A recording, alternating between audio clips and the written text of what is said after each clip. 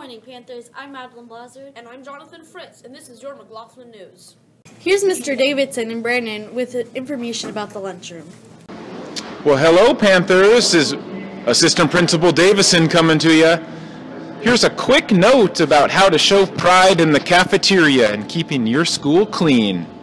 There's the duty in the class.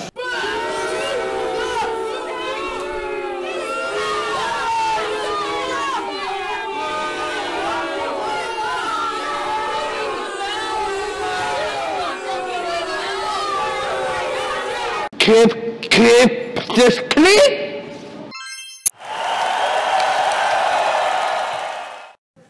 In local news, KEPR News is reporting that Kennewick police said someone called emergency dispatchers November 19th to complain about a man who shot a goose from his car in Columbia Park. The police eventually found the dead and banded goose in the park. The man had a shooter's license plate. The police contacted wildlife agents and mentioned they were familiar with the accused shooter.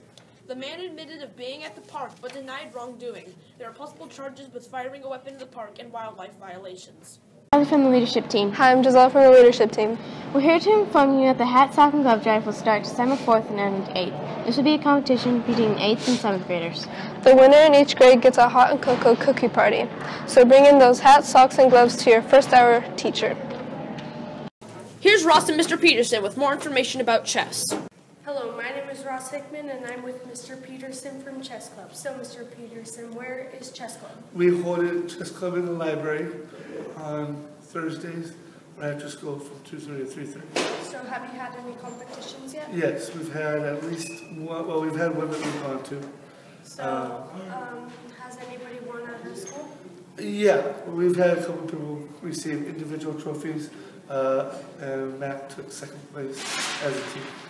Do you have any information for the kids about Chess Club? Yeah, uh, we have a tournament actually coming up this Saturday. Um, you can find it on the chesschampions.org. It tells you where it is. Um, but anyways, and there's going to be an emergency meeting after school today so we can pass out permission for slips.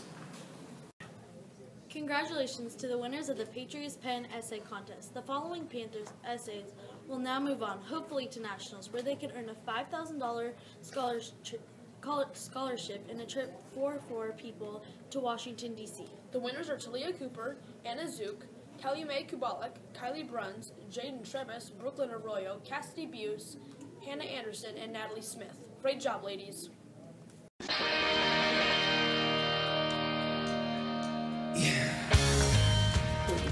Here's Ross and Connor Mendez with more information about tonight's game.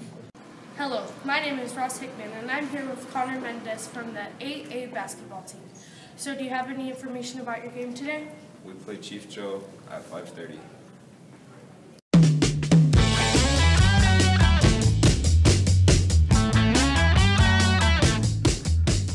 Happy birthday to Jose Jimenez Cassandra McGanna.